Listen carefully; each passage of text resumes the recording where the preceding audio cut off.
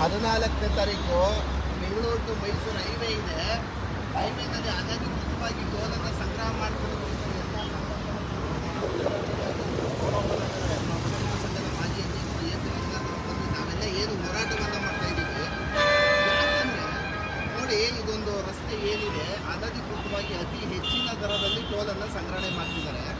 ಆಮೇಲೆ ರೋಡಲ್ಲಿ ಸರ್ವಿಸ್ ರಸ್ತೆಯನ್ನು, ಅಂದರೆ ಎನ್ ಎಚ್ ಎ ಪ್ರಾಧಿಕಾರ ಏನಂತಿದೆ ಅಂದರೆ ಸಂಪೂರ್ಣವಾಗಿ ಮೊದಲನೇದಾಗಿ ಸರ್ವಿಸ್ ರಸ್ತೆಯನ್ನು ಕೊಟ್ಟು ಆಮೇಲೆ ಹೈವೇ ಏನಿದೆ ಚಾಲಕರು ಏನಿದ್ದಾರೆ, ಅವ್ರಿಗೆ ನೀವು ಸುಂಕವನ್ನು ವಿಧಿಸಿ ಅಂತ N H A notification clear ಆಗಿ ಹೇಳುತ್ತೆ. ಆದರೆ ಇವರು ಸರ್ವಿಸ್ ಏನೇ ಕೊಡ್ತಾರೆ ನೋಡಿ ಬೇಕಾದ್ರೆ ಇದು ಇದು ರೋಡ್ ಅಂತಾರೆ ಇಲ್ಲಿ ಸರ್ವಿಸ್ ರೋಡ್ ಎಲ್ಲಿದೆ? ನೋಡಿ ಎಲ್ಲ ಫುಲ್ ಟೋಲ್ ಆಗಿದೆ. ಇಲ್ಲಿಂದ ಹೋಗುವಂತ ಸಂದರ್ಭದಲ್ಲಿ ಎಡಭಾಗ ಮತ್ತು ಬಲಭಾಗ ಒಟ್ಟಿನಲ್ಲಿ ಇಲ್ಲಿ ಸರ್ ಕೊಟ್ಕೊಂಡು ಹೋಗಬೇಕು. ಅಲ್ಲಿ ಸರ್ವಿಸ್ ರೋಡ್ಗಳು ಸ್ಟಾರ್ಟ್ ಆಗಿದೆ. ಒಂದು ಸ್ವಲ್ಪ ದೂರ. ಬಟ್ ರೆಗ್ಯುಲರು ಮೂವಿಂಗ್ ಮೈಸೂರಿಗೆ ಅಂತದ್ದು ಸರ್ವಿಸ್ ರೋಡ್ಗಳಿಲ್ಲ ಮೇನ್ ಆಗಿ. ಅಕ್ಕಪಕ್ಕದ ಹಳ್ಳಿಯವರಿಗೆ ಹೋಗೋದಕ್ಕೆ ತುಂಬ ಅಡೆತಡೆಗಳು ಉಂಟಾಗಿದೆ. ಆಮೇಲೆ ಇಲ್ಲಿಂದ ನೂರ ಮೂವತ್ತೈದು ಕಿಲೋಮೀಟರ್ ಏನು ಚಾಲಕರು ಜರ್ನಿ ಮಾಡ್ತಾರೆ, ಒಂದು ಮೂಲಭೂತ ಸೌಕರ್ಯಗಳ ಇದು ಮಾಡಿಲ್ಲ. ಒಂದು ಶೌಚಾಲಯಗಳಿಲ್ಲ, ಪೆಟ್ರೋಲ್ ಪಂಪ್ಗಳಿಲ್ಲ ಪಂಚರ್ ಶಾಪ್ಗಳಿಲ್ಲ, ಯಾವ ಒಂದು ಧೋರಣೆಯ ವಿರುದ್ಧ ಇವರು ಕೆಲಸ ಮಾಡ್ತಿದ್ದಾರೆ ಸರ್ಕಾರ. ನೋಡಿ, ನಾನು ಪಕ್ಷದ ವಿರುದ್ಧ ಮಾತನಾಡೋದಿಲ್ಲ ಇಲ್ಲಿ. ಸಾರ್ವಜನಿಕರಿಗೆ ನಾನು ಒಂದು ಮನವಿ ಮಾಡೋದೇನಂತಾರೆ ಮೊನ್ನೆ ಒಂದು ಅಬ್ಸರ್ವ್ ಮಾಡಿ, ಯಾವಾಗ ಸಾರ್ವಜನಿಕರು ತಮ್ಮ ಹಕ್ಕು ಬಾಧ್ಯತೆಗಳ ಪರವಾಗಿ ಮಾತಾಡಲ್ಲ, ಆಗ ಸರ್ಕಾರದ ಧೋರಣೆಗಳು ಅತಿ ಹೆಚ್ಚಿದ್ದಾಗುತ್ತೆ. ಇದು ಯಾವಾಗ ನಾವು ಪ್ರಶ್ನೆ ಮಾಡಲ್ಲ, ಅವಾಗ ಅವರು ದರೋಡೆ ಮಾಡೋದನ್ನು ಶುರುವಾಗ್ತಾರೆ ನೋಡಿ, ಯಾವುದೇ ಕಾರಣಕ್ಕೂ ಸಹ ಸರ್ವಿಸ್ ರೋಡ್ ಮೂಲಭೂತ ಸೌಕರ್ಯಗಳಿಂದ ಏಕಾಏಕಿ ದರೋಡೆ ಮಾಡೋದು ಶುರುವಾಗ್ತಾರೆ ಅಂದರೆ, ಸಾರ್ವಜನಿಕರು ಅಲ್ಲಿ ತನಕ ದರೋಡೆ ಮಾಡ್ತಾನೆ ಇರ್ತಾರೆ. ಎಷ್ಟು ಎಷ್ಟು, ಇದು, ಇವತ್ತು ನೂರ ಮೂವತ್ತೈದು ರೂಪಾಯಿ ಇಲ್ಲಿಂದ ಐವತ್ತೈದು ಕಿಲೋಮೀಟರ್ ಹೋಗೋದಕ್ಕೆ ನೂರ ಐವತ್ತೈದು ರೂಪಾಯಿ ಕಲೆಕ್ಷನ್ ಮಾಡ್ತಿದ್ದಾರೆ. ಫಾಸ್ಟ್ಯಾಗ್ ಹಿಂದೆ ಇರೋರಿಗೆ ಇನ್ನೂರ ಮೂವತ್ತೈದು ರೂಪಾಯಿ ಕಲೆಕ್ಷನ್ ಮಾಡ್ತಿದ್ದಾರೆ. ಒಟ್ಟು ಇಲ್ಲಿಂದ ಮೈಸೂರಿಗೆ ಹೋಗುವಷ್ಟರಲ್ಲಿ ಇನ್ನೂರ ಅರವತ್ತೈದು ರೂಪಾಯಿ ಕಲೆಕ್ಷನ್ ಮಾಡ್ತಾರೆ. ಯಾವ ಒಂದು ಬಂಡವಾಳಕ್ಕೋಸ್ಕರ ಆ್ಯಕ್ಚುಲಿ ನಾವು ನೋಡಿ ಒಂದು ಕಾರ್ಗಳನ್ನು, ಒಂದು ವೆಹಿಕಲ್ಗಳನ್ನು ತೊಗೋತೀವಿ ಅಂದರೆ ಮೊದಲನೇದಾಗಿ ಸರ್ಕಾರ ಏನು ಮಾಡಬೇಕು? ಜನಸಾಮಾನ್ಯರು ಸ್ವಲ್ಪ ಯೋಚನೆ ಮಾಡಿ. ಮೊದಲನೇದಾಗಿ ರಸ್ತೆಗಳು, ಕುಡಿಯೋ ನೀರು ಬೀದಿ ದೀಪಗಳ ಸಂಪರ್ಕವನ್ನು ಒದಗಿಸ್ಕೊಡೋದಕ್ಕೆ ತಾನೇ ನಾವು ಸರ್ವಿಸ್ ರೋಡ್ಗೆ ಸೂಚನೆಗಳನ್ನು ಕಟ್ಟುವಂಥದ್ದು ರೋಡ್ ಟ್ಯಾಕ್ಸ್ಗಳನ್ನು ಕಟ್ಟುವಂಥದ್ದು. ನಮ್ಮ ಕಾರ್ಗಳಿಗೆಲ್ಲ ತರ್ಟಿ ಪರ್ಸೆಂಟ್ ರೋಡ್ ಟ್ಯಾಕ್ಸ್ ತಗೋತಾರೆ ರೋಡ್ ಟ್ಯಾಕ್ಸ್ ತಗೊಂಡ ಮೇಲೆ ರೋಡ್ಗಳು ಸರಿ ಮಾಡ್ಕೊಂಡಿದ್ದಾರೆ ನಾವು ಯಾಕೆ ರೋಡ್ ಕಟ್ಟಬೇಕು ಟ್ಯಾಕ್ಸ್ ಯಾಕೆ ಕಟ್ಟಬೇಕು ಅಂಥದ್ರಲ್ಲಿ ಯಾವುದೇ ಮೂಲಭೂತ ಸೌಕರ್ಯಗಳ ವ್ಯವಸ್ಥೆ ಇಲ್ಲದೆ, ಆಮೇಲೆ ಏನೋ ಒಂದು ಸರ್ಕಾರದ ಒಂದೇ ಒಂದು ಇದೇನು ಅಂದರೆ ಒಳ್ಳೆ ಹೈವೇಯನ್ನು ಮಾಡ್ಬಿಟ್ಟಿದ್ದೀವಿ ಮಾಡಿ. ಯಾರಪ್ಪ ಮನೆ ದುಡ್ಡು ನಾವೇ ಕಟ್ಟಿರೋ ಟ್ಯಾಕ್ಸು.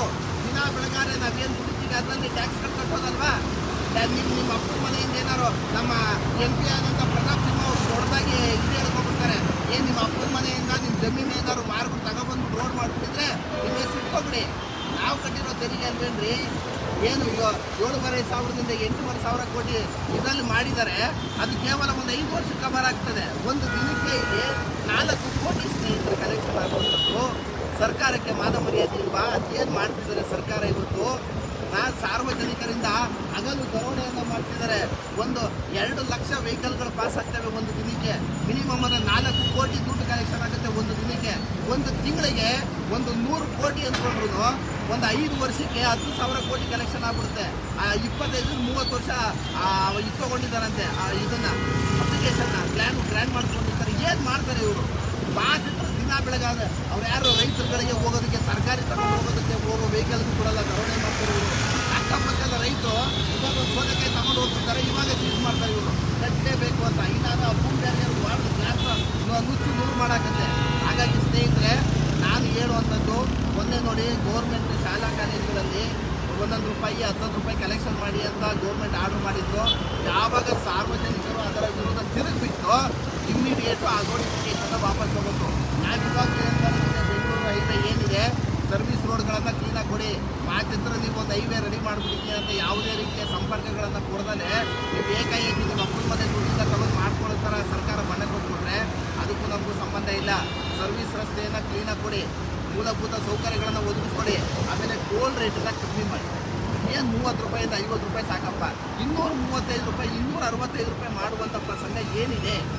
ಹಾಗಾಗಿ ಮಾನ್ಯ ಸರ್ಕಾರ ಮತ್ತು ರಾಷ್ಟ್ರೀಯ ಹೆದ್ದಾರಿ ಪ್ರಾಧಿಕಾರದ ಅಧಿಕಾರಿಗಳು, ನಮ್ಮ ರಾಜ್ಯ ಸರ್ಕಾರ, ನಮ್ಮ ರಾಜಕೀಯ ಇರ್ತಾರಲ್ಲ ನಮ್ಮ ಎಂ ಪಿಗಳು ಎಲ್ಲ ನಮ್ಮ ಪ್ರತಾಪ್ ಸಿಂಹ ಅವ್ರಿಗೆ ದಯಮಾಡಿ ಮನವಿ ಮಾಡುವಂಥದ್ದು. ಟೋಲ್ ರೇಟ್ನ ಕಮ್ಮಿ ಮಾಡಿ, ಸರ್ವಿಸ್ ರಸ್ತೆಯನ್ನು ಕೊಡಿ, ಆಮೇಲೆ ನಿಮ್ಮ ದರೋಡೆಯನ್ನು ಸ್ಟಾರ್ಟ್ ಮಾಡಿ ಅಂತ ಹೇಳ್ತಾ ಸರ್, ಈಗ ಬೆಂಗಳೂರು ಟು ಮೈಸೂರು ರೋಡ್